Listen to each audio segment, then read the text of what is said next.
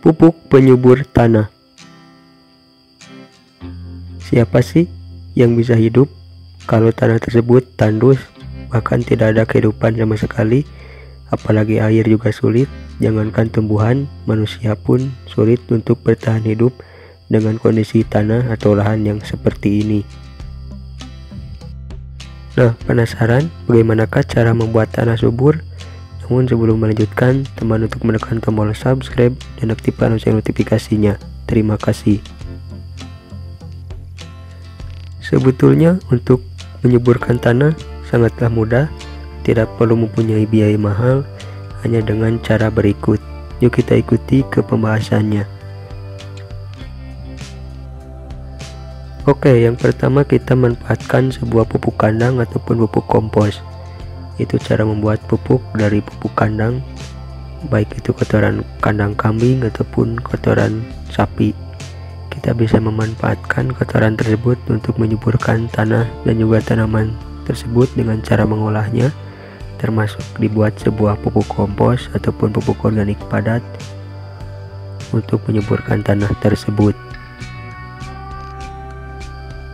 Karena pupuk kandang sangat bagus sekali untuk pertemuan tanaman karena unsur-unsur yang di dalamnya termasuk unsur hara yang bisa menyuburkan tanah tersebut yang berfungsi untuk menyuburkan tanaman. Dan pupuk kandang ini juga kita bisa digunakan sebuah pupuk kompos dan juga sebuah pupuk organik cair.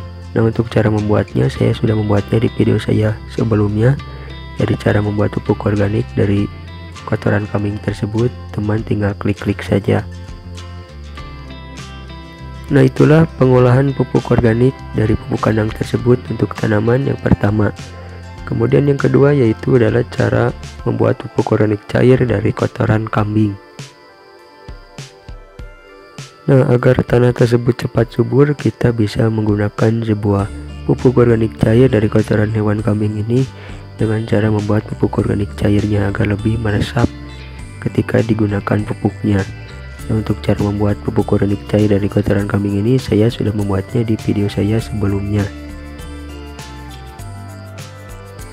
Sehingga tanah tersebut bisa terperangsang kesuburannya menggunakan pupuk yang bisa kita olah dari bahan alami ataupun organik juga sangat aman untuk lingkungan sehingga bisa tanaman tersebut ternutrisi tanah pun menjadi subur karena dengan campuran pupuk dari pupuk kandang ataupun pupuk kompos. Jadi pembuatannya juga sangat mudah dan juga tidak mahal ya guys.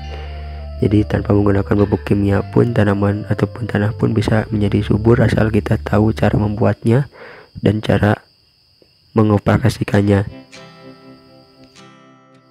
Nah itulah pembahasan bagaimana cara membuat sebuah penyubur tanah dari bahan organik termasuk dari pupuk kandang atau pupuk padat ataupun dari pupuk organik cair dari kotoran kambing tersebut. Nah, itu adalah cara yang pertama. Kemudian cara yang kedua, apa sih dan bagaimanakah dari pupuk organik cair terbaik itu? Apakah perlu mahar? Yuk kita ikuti pembahasan yang kedua.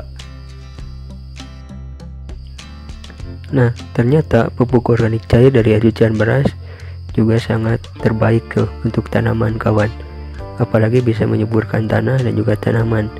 Jadi tidak perlu mahal-mahal kita membeli pupuk organik cair. Jadi kalau kita tahu cara membuatnya dari limbah dan beras pun bisa menyuburkan tanah beserta dengan tanaman. Asal pun kita tahu cara membuatnya guys serta cara memupukkannya. Seperti itu.